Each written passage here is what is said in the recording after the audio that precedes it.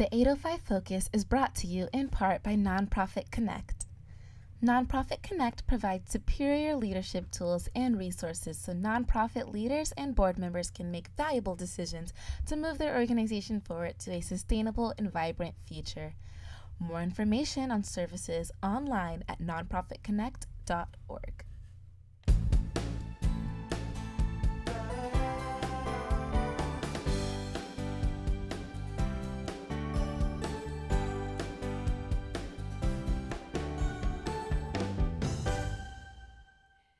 Welcome, everyone, to 805 Focus. I'm Dr. Cynder Sinclair with Nonprofit Connect, and we will be bringing you the latest on your favorite nonprofits. So get ready to be inspired. Our special guest today is Ernesto Paredes, and Ernesto is CEO of Easy Lift Transportation. That's right. Welcome, Ernesto. Thank you very much. It's a pleasure to be here with you. Oh, I'm so glad because you know what? Now I've got you cornered, and I get to hear all the latest and greatest about Easy Lift because I know Oh. you guys may, provide such important service for our community, and I have a feeling you do things w- with Easy Lift that people don't know about.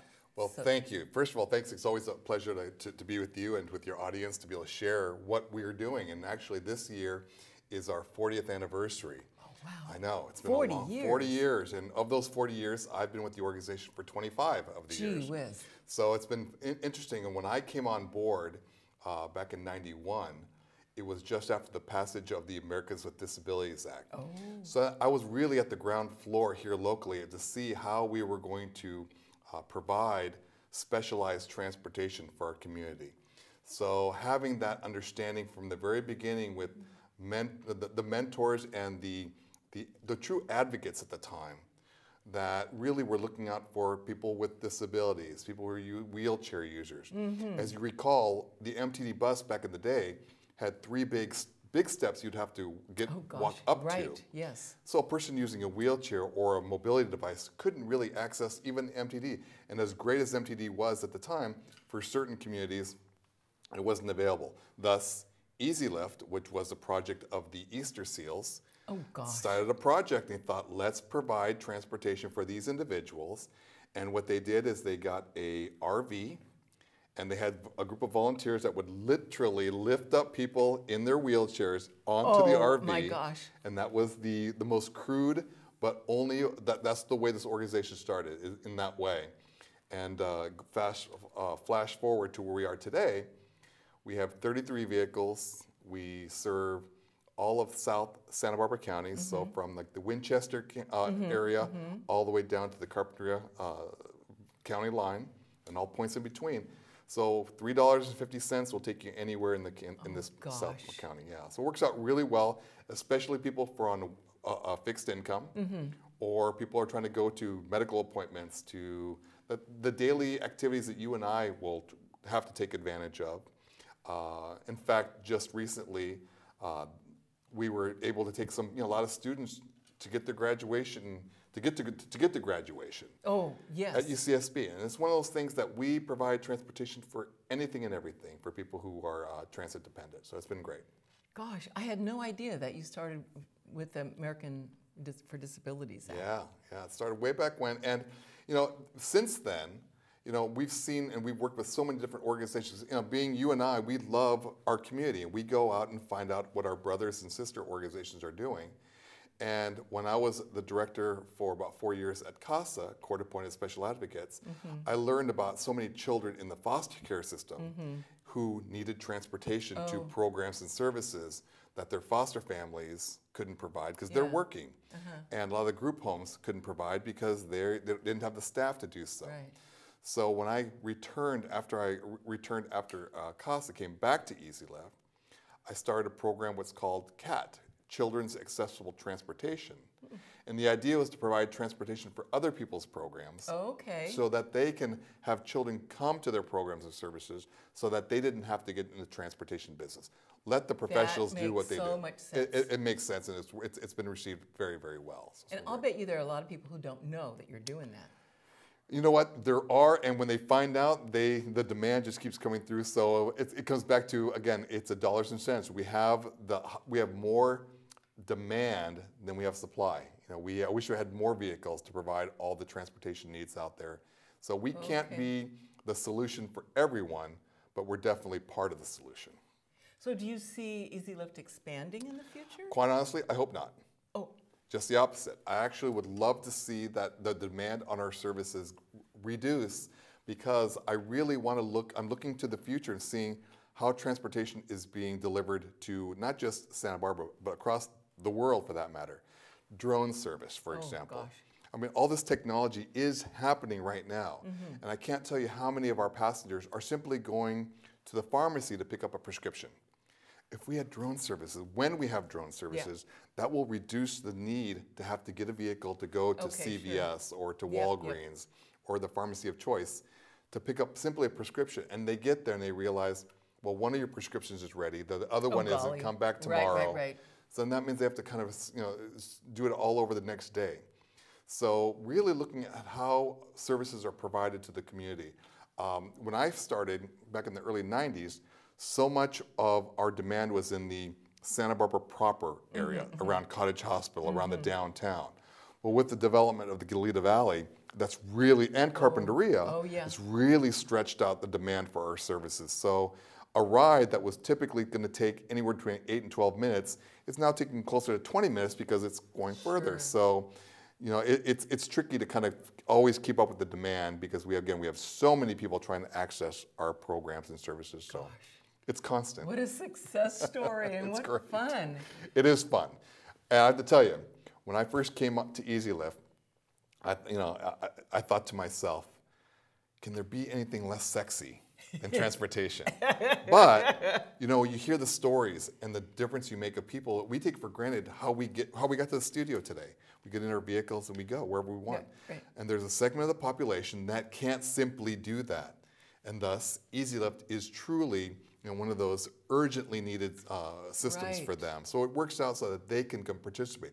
And now, you know, when we early in the 90s or 80s for that matter, you rarely saw someone using a wheelchair downtown. Mm. Now you see people in wheelchairs constantly with the curb cuts, and again with the ADA, it made such a it was such great legislation Yeah. that allowed individuals that would typically would have been left in the back rooms of, of- people's homes yeah, yeah. now participate in our community. Gosh. I mean, now you see you go, you go to a grocery store and they might be helping, you know, help bag your groceries or greet you at the store. So it's Right. we, we've come a long way. Yet, as people are aging, the demand on our service just keeps getting higher and Oh, higher. boy, isn't Yeah. that the truth? Yeah, it really is. So how does a person arrange for a ride from Easy It's a great question. What people usually will do is they'll call, something will happen in regards they feel I can't drive any longer, or they, oh. you know something a, a significant life event happens, and they will call us and find out how do I get to my doctor's office. Usually it's a doctor's appointment first. It would kind of triggers people needing transportation, and they will will do a, a simple phone screening and find out if they're eligible. And the idea is that not we're trying to keep people off, but just making sure that again our our supply is limited. We want to make sure it's really for people who can't use the MTD bus. That's really the litmus Oh, test. gotcha. So if you can use the MTD bus, but you've never done it, Uh-huh. we'll help you. We'll, we'll go on a ride along uh, on the, and go on the, the routes and figure out where you need to Mm-hmm. go. Because really, with that, you don't have to make a ride reservation, obviously, and it's a lot cheaper than the three dollars and fifty cents. It's only a dollar fifty to go on with them. Mm-hmm. Okay. So, so it's it's it's better to take the MTD bus, and our system is really really good. But in the instances where people can't negotiate or can't get to a bus stop, Mm-hmm. then EasyLift and our dial ride system is probably something for them. That is so cool. So you just really work with each individual person and you screen them and you actually take them on the MTD. We, we, we will take them on the MTD bus, and as their as their health maybe deteriorates, then yeah, maybe their the dial ride system would be something just for them, so they can continue their lifestyle. Whether again it's going to a, a volunteer opportunity, trying to access again whether they're going to the bank, going to the retail stores, going to all the great cultural events we have. Mm-hmm. So there's no limit where someone could go. It's not just for medical appointments. Wherever you and I go is where people who use our dial ride system can go. So it's it's really for anyone and everyone that just can't use the MTD bus. Gosh. Yeah. And so I'm, I'm hearing a lot of collaboration with all kinds of organizations and agencies and all.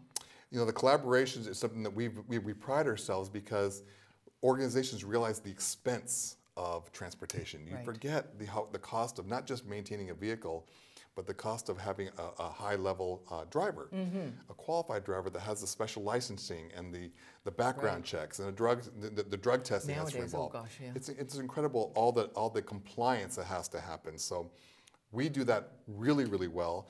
And we know so many of our brother and sister organizations do their program really well. So we thought, let's collaborate so you don't have to be in Yeah, the transit yeah, yeah. business. So That is great. And so, is Easy Lift a 501c3? it is, yeah. So we have, you know, we, we are a nonprofit, like a lot of our programs that have, and we do have our traditional fundraising efforts. Okay. Uh, we will go to the community and ask for, you know, solicitations or the foundations. Uh, we have a lot of very generous individuals that once they start using our service, they realize the value and they want to give back to the yeah. organization. Oh, that's so cool. You know, we've had people actually donate uh, wheelchair modified vehicles back to us Oh, wow. when they no Oh, longer oh. needed it. Someone maybe passed away and they Yeah. thought, we know that EasyLift will take full advantage of that vehicle, and we sure do. So it's it's been great, and people really look out for our organization. We have a very good business model in regards to the organizations and the contracts we work with, so that we can maintain the highest quality of service uh, to this community. So it, it works great. really, really well. So a person can go on your website, Mm-hmm. and they you probably have a donate now button.